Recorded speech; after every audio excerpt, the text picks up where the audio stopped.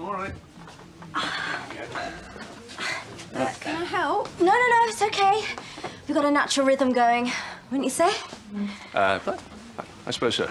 Ah. Uh, why don't you take a seat? Oh, thank you, Doctor. Ow!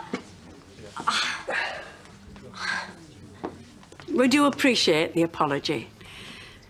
Ryan did mention you'd spent the evening together. Surely she doesn't charge her friends. What?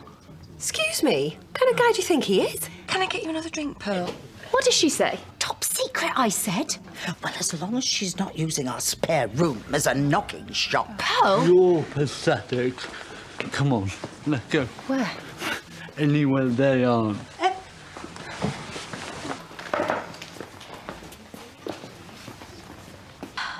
I can really feel the ice melting.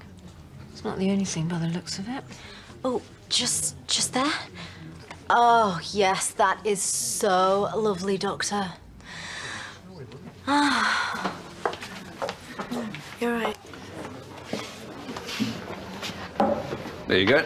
That should do the trick.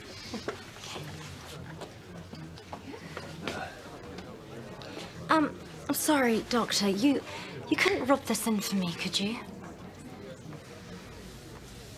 Well, I suppose if you can't reach.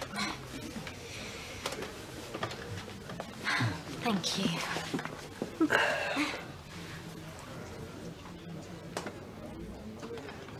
Ah.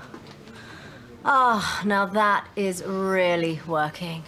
Excuse me? What's next? A stretcher? This isn't A&E, you know. Oh, don't tempt her. She'll be on her back given half the chance. There you go. How does that feel? Oh, do you know what? That is so much better. Good. now, if you need a crutch, just pop by the surgery. We can see what we can do. Now, just uh, best give Matty his stuff back. Thank you so much, Doctor. Liam, don't get your drink. Well, it's like watching Lazarus. You in such agony, and now, well, it's a miracle. Good as new. Are you saying I put this on? Well, wouldn't blame you. He has got healing hands. Mm, and the way he's so patient and understanding. Well, actually, I might need a follow-up appointment. I must say, a Bernice is one lucky girl. I have to say, if Pete was that universally adored, I'd think about keeping him in a cage. Thanks, Rona. That's just what I needed to hear.